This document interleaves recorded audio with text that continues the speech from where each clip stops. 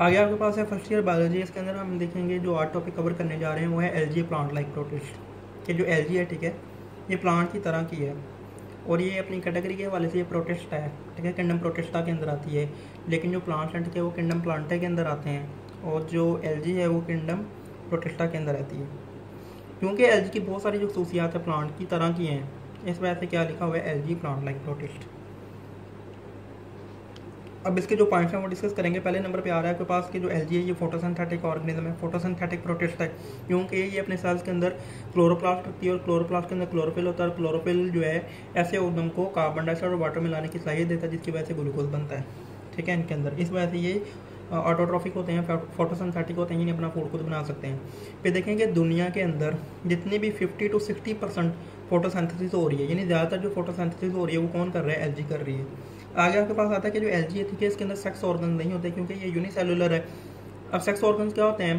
Plant के अंदर वो वाले ऑर्गन या किसी भी ऑर्गेनिज्म के अंदर वो वाले ऑर्गन जो कि इसे आगे अपनी नस्ल चलाने में हेल्प करेंगे। उन्हें हम क्या बोल देते हैं? सेक्स ऑर्गन बोल देते हैं, जिस तरह प्लांट के अंदर जो फ्लावर है, ठीक है, ये सेक्स ऑर्गन है रिप्रोडक्टिव ऑर्गन है। ठीक है तो एल जो है ना, ठीक है, क्योंकि ये यूनिसेलुलर है तो इसके अंदर सेक्स ऑर्गन नहीं पाए जाते। लेकिन जो प्लांट्स है, ठीक है, इनके अंदर सेक्स ऑर्गन होते हैं फ्लावर की फॉर्म में। उसके बाद देखें कि जो एलजी है, ठीक है, इसका जब जायगोट बनता है, यानी जब दो ओपोजिट सेल्स जब दो ओपोजिट कह लें सेल्स मिलेंगे तो क्या बनता है? जायगोट बनता है। अब ये जो जायगोट है ना, ठीक है एल का जो जायगोट है, ठीक है, इसे पेरेंट बॉडी जो है, वो प्रोटेक्ट नहीं करेगी।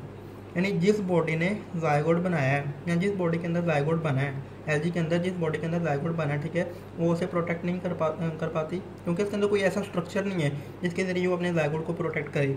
इस वजह से वो जो जायगोट है, ठीक है, वो वाटर में, यानी एनवायरनमेंट के अंदर ही वो फ्लरिश करता है आगे। लेकिन जो प्लांट है ना, ठीक है प्लांट के अंदर जो जायगोट जब बनता है, यानी स्पम और एग जब आपस में मिलते हैं तो जायगोट बनेगा प्लांट के अंदर। तो ये जो जायगोट है, इसके अंदर माइटोसिस होगी और एम्ब्रियो बनेगा। और ये जो एम्ब्रियो है, ठीक है, इसे प्रेंटल केयर मिलती है। इसे प्रेंटल को केयर कौन देता है? फ्लावर के अंदर जो सीड पड़ा होता है, वो देता है। आगे आपके पास बता रहा है कि यूनिसेलुलर ये जो एल है, ठीक है, ये यूनिसेलुलर फिलामेंटस है। यानी एल की जो शेप है, ठीक है, इस तरह के फिलामेंट्स के ऊपर मुश्तमिल होती है। ठीक है?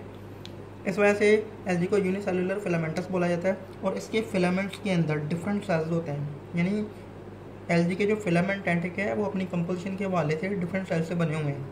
और इसके जो फिलामेंट हैं को एनोसाइड्स से बोला जाता है। क्यों को एनोसाइड्स बोला जाता है? क्योंकि इसके फिलामेंट के अंदर जितने भी सेल्स हैं, उनके दरमियान क्रॉस वॉल्स नहीं पाई जा रही, जिसकी वजह से सारे के सारे जो न्यूक्लियस हैं ठीक है, वो वैसे ही क्रॉस वॉल्स के बगैर पड़े होते हैं। इस वजह से जो एलजी के फिलामेंट हैं, ठीक है इन्हें क्वाइनोसाइड्स भी बोला जाता है। इनके बहुत सारे जो सेल्स हैं को का क्या मतलब होता है? जब दो चीज़ें एक ही साथ एग्जिस्ट कर रही हूँ, और साइड बार के अंदर जहाँ पे भी आता है, इसका मतलब होता है सेल ठीक है? और एन और न्यूक्लियस से लगा लें, ठीक है? क्योंकि फिलामेंट्स के अंदर बहुत सारे डिफरेंट सेल्स जो हैं, ठीक है? वो बगैर क्रॉस वॉल के आपस में इकट्ठे एग्जिस्ट कर रहे हैं, बगैर किसी वॉल के तो इस वजह से एलजी के अंदर जितने भी फिलामेंट के अंदर सेल पाए जाते हैं, उन्हें क्या बोल दिया गया? क्वानोसाइट्स बोला बोला गया। और फिलामेंट को आप मल्टी न्यूक्लियर स्ट्रक्चर भी बोल सकते हैं। फिलामेंट को मल्टी न्यूक्लियर स्ट्रक्चर क्यों बोला जा रहा है? इस वजह से बोला जा रहा है क्योंकि एक फिलामेंट के अंदर आपको बहुत सारे न्यूक्लियस नज़र आ रहे हैं। आगे आपके पास आता है सीवीड अब आगे आपके पास जो सीवीड है ना, ठीक है, ये मरीन है समंदर के अंदर पाई जाती है सॉल्ट वाटर के अंदर पाई जाती है और इसकी जो कुछ करेक्टरिस्टिक्स हैं वो इस तरह से हैं कि जो सी वीड है, ठीक है, ये मल्टी सेलुलर है, यानी एक से ज़्यादा सेल से बनी हुई है, ये ब्रांच होती है, यानी इसके इस तरह के ब्रांच स्ट्रक्चर्स होंगे, ठीक है, और ये लीफ लाइक पैटर्न में अरेंज हुए होते हैं इसके जो ब्रांच के जो ब्रांच स्ट्रक्चर है, ठीक है?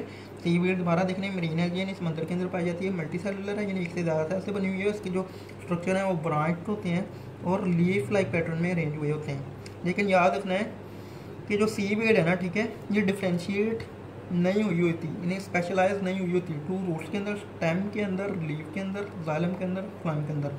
आप सिंपली कह लें कि जो सी वीड है, इसके अंदर ना तो टू रूट होती है, ना टू स्टेम होती है, ना टू लीव होते हैं, ना जालम होता है, ना फ्लाइम होता है। यहाँ आप इस तरह से कह सकते हैं कि जो सी वीड है, इसके अंदर रूट की तरह के स्ट्रक्चर होते हैं, लेकिन रूट नहीं होती। स्टेम की तरह के स्ट्रक्चर होते हैं, लेकिन स्टेम नहीं होती। लीव की तरह के स्ट्रक्चर होते हैं लेकिन असल में लीव नहीं होती।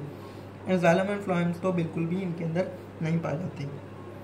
और कोई भी ऐसी बॉडी जिसके अंदर टू रूट कोई भी ऐसा ऑर्गेनिज्म जिसके अंदर true root stem leaves xylem and phloem ना हों, ठीक है? और वो कह लें कि एक फोटोसिंथेटिक ऑर्गेनिज्म हो तो उसे हम फिर क्या बोल देंगे? थैलस बोल देंगे। आगे आपके पास आ जाता है।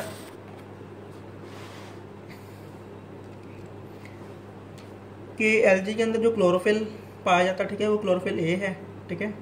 एलजी के अंदर जो प्राइमरी पिगमेंट है जो कि सबसे ज़्यादा फोटोसिंथेसिस करवा रहा है ठीक है वो है आपके पास क्लोरोफिल इस वजह से जो ग्रीन एलजी है ठीक है वो क्लोरोफिल ए की वजह से वो ग्रीन कलर की नज़र आती है।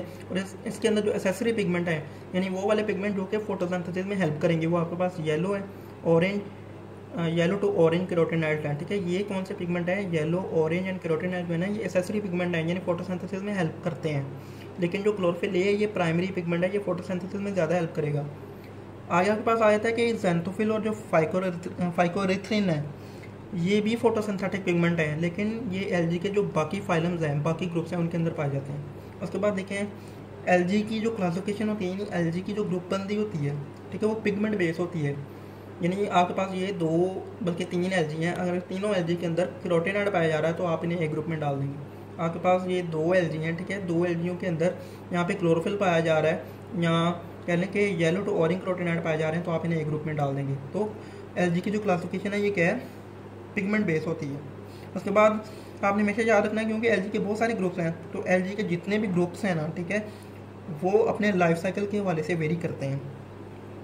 आगे आपके पास आता है कि सिर्फ़ फाइलम ब्राइडोफाटा जो है ना, ठीक है?